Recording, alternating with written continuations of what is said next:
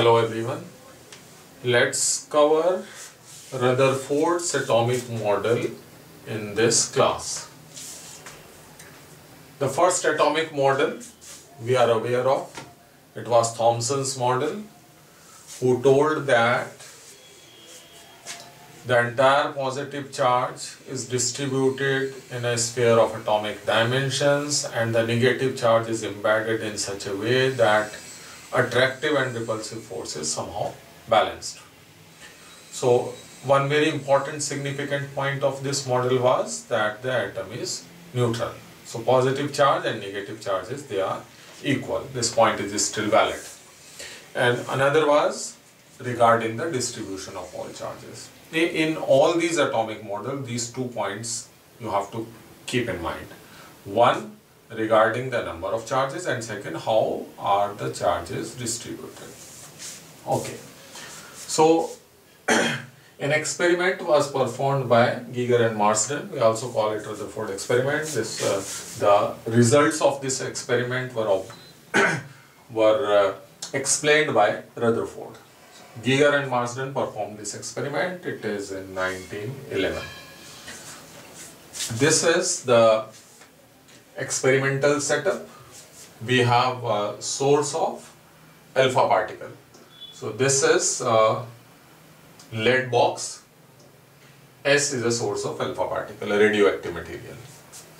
Then these two bricks again made up of lead and a narrow opening so that alpha particles basically this beam alpha particles pass into a narrow beam in the form of a narrow beam. We call it collimator which collimate the alpha particles into a fine beam. This is gold foil thickness of the order of 10 raised to power minus 7 meter. Precisely it was 2.1 into 10 raised to power minus 7. And then this is a scale on which we have a detector and two most important parts of the detector is one microscope and one zinc sulfide screen. Zinc sulfide, uh, when alpha particles will fall onto zinc sulfide, this produces scintillation, so sparks and those sparks are studied using microscope. Okay, the purpose of taking a very thin gold foil is to avoid the multiple collisions. So in a way we have taken a single layer of atoms so that there are no multiple collisions. Lead has been taken because of its high absorbing power so that the alpha particles if they are moving in this direction they will be absorbed and only this fine beam will be allowed to fall on the foil. Okay, so al alpha particle source, lead collimators, thin foil of gold detector with microscope and zinc sulfide screen and this is the scale on which we can move the detector to see how many particles are coming at any particular position. And this entire setup is in an evacuated chamber, no other particles present to avoid the collision of alpha particle with air molecules. Okay, experiment is the alpha particles were allowed to fall on this gold foil after being collimated into a fine beam by these collimators and the scattered particles they were studied using this detector. This detector can be moved on the circular and it was studied that how many particles are coming at one particular angle. Okay, observations was this is a graph, number of particles and here is the scattering angle. So scattering angle will be the angle between the incident direction and then the direction in which the particle has moved after passing through the foil. That will be the scattering angle. So most of the particles, maximum particles we are getting when the angle is 0. It means it's straight. And after that number of particles decreases after 90 degree. The particles are very less. Okay. So this is a graph between the angle of scattering, number of particles. It is telling you that maximum particles are going straight and very few particles are suffering large angle scattering. So observations were most of the particles pass straight. It's quite clear from this graph also.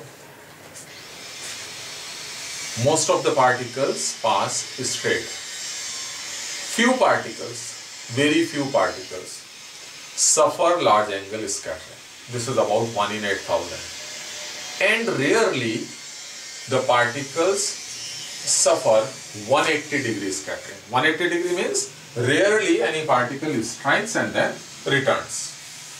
It is rare. So most of the particles passing is straight, few of them around 1 in 8000 suffering an angular scattering of uh, more than 90 degree and very few have this 180 degree scattering. It is rare. Now, if we see these observations and at the time when this experiment was performed, the accepted model was that given by Thomson.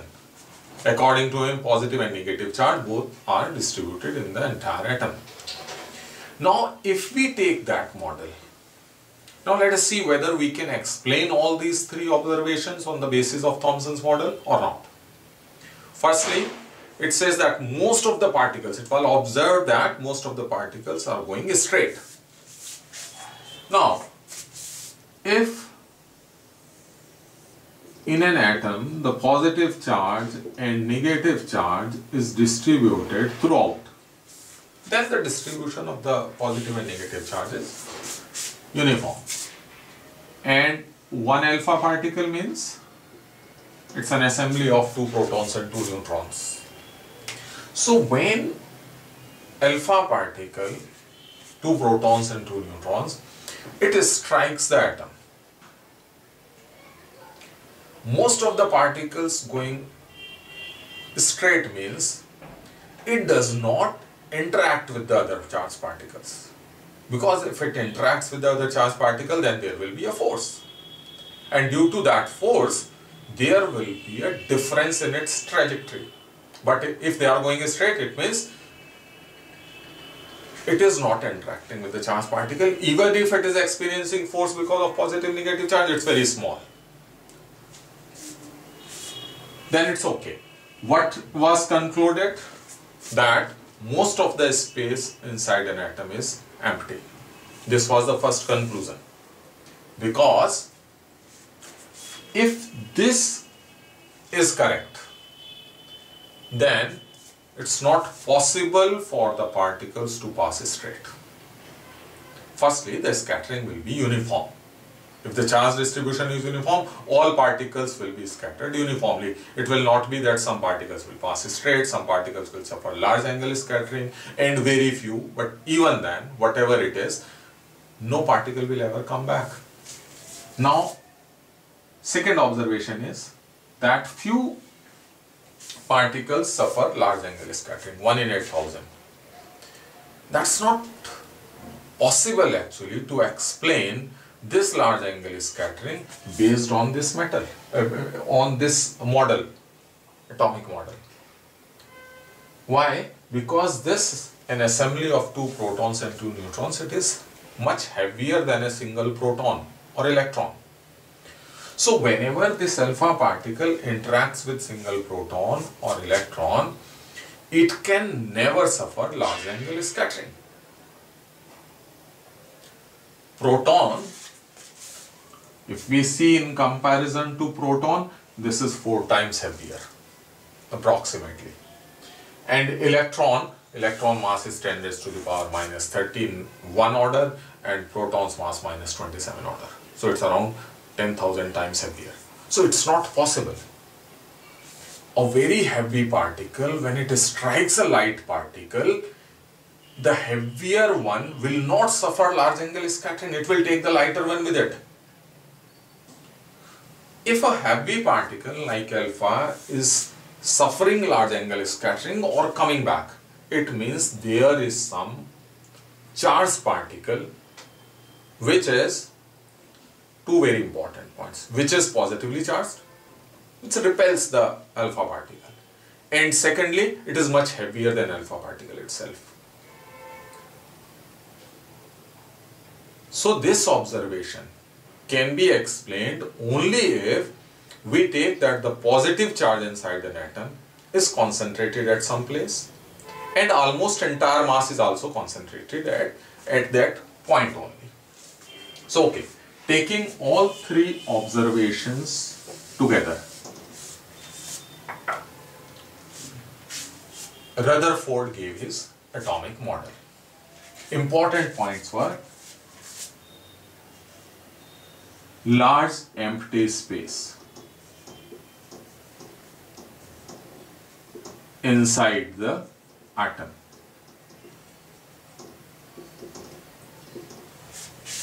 Because most of the particles are going straight.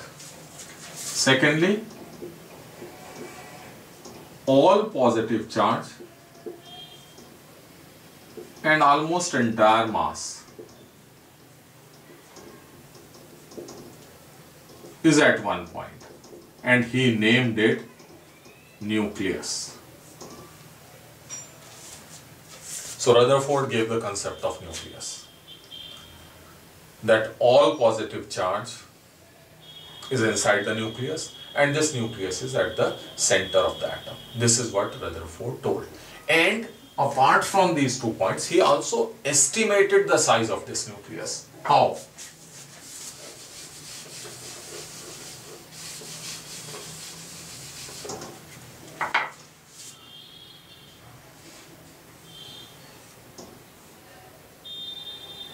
If this is a nucleus and alpha particles are thrown towards it. So what will happen? If the alpha particle is here, then it may suffer a very small scattering angle. If alpha particle is coming like this, then it is nearer to the nucleus, so more force. So maybe it, it goes like this. Some other particle may, may go like this. And if one is coming head on, it may go back. So, most of the particles will go straight because of the small size of the nucleus. And how he estimated the size? He kept on changing the value of the energy of the alpha particles which are sent. If an alpha particle is coming from a large distance, then simply conservation of energy can give us an idea about the size of the nucleus. If an alpha particle is coming, initially it has energy this and when the alpha particle is approaching the nucleus, what will happen? All this energy gets converted to potential energy. It will stop and then will go back. If Z is the charge on the nucleus, 2E charge on the alpha particle upon R using it, what he did, he kept on varying the value of kinetic energy of the alpha particle with which the alpha particles are approaching the nucleus and calculated this size r. Minimum distance or closest distance of approach will be this. In that case, r will be center to center distance center of alpha particle and center of the nucleus. And he estimated it nearly 47 Fermi. It is of the order of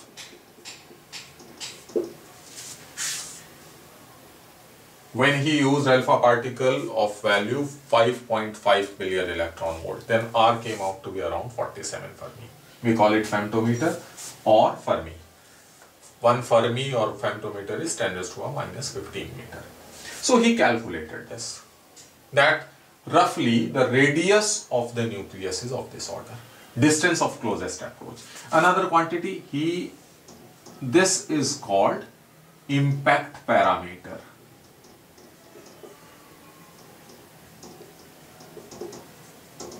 It's again a quantity which affects the scattering. The scattering angle will depend on the impact parameter. For a large impact parameter, the particle may go straight. And for zero impact parameter, scattering is, the scattering angle will be 180, zero. So impact parameter is this distance. So distance between the velocity vector of alpha particle and a central line drawn to the nucleus. That is the impact. So impact parameter, distance of closest approach help us to find out to estimate the size of the nucleus. This is how he did. Now you can imagine if nucleus is of this order, atom, so it's around 1 is to 10 raised to the power 5. So if I take it 1 millimeter, it comes out to 10 raised to or 100 meter. So if I consider the tip of alpine, which, which will be around 1 millimeter, then 100 meter around it, that is the atom. So you can imagine now the size of a nucleus in comparison to the size of the atom. 100 meter and 1 millimeter. This is the ratio. So it is the reason now, now you can explain those observations very easily. If the size of the nucleus is 10 raised to minus 15, size of the atom is 10 raised to minus 10 and you are throwing alpha particles, then probability is that they will pass straight. They will not go closer to the nucleus. The probability is very less. So that's why 1 in 8000 was suffering large angle scattering. Most of the particles going straight only. So Rutherford atomic model, he gave the concept of nucleus. Regarding the total charge, still the same of, uh, uh, point which was there in Thomson's model that positive charge is equal to the negative charge. Positive charge and mass that is centered at the nucleus. Electrons are around it. Now, what did he say about the electrons? Electrons can't be at rest. If they are at rest, they will be pulled towards the nucleus and fall, will fall into that. So electrons are not at rest. Electrons are moving around the nucleus. Just like planets moving around the sun. So the force between them is providing the necessary centripetal force. That's why they are not falling into the nucleus. So positive charge is at the center which is called the nucleus. Negative charge around the nucleus and moving in orbits. And this is about the size. Size of nucleus 10 raised to power minus 15 order, size of the atom 10 raised to power minus 10. This is roughly, though the atom size uh, will depend element to element. But this is the order. Okay, now this model could not explain or Rutherford could not explain two objections raised to this model. According to electromagnetic theory,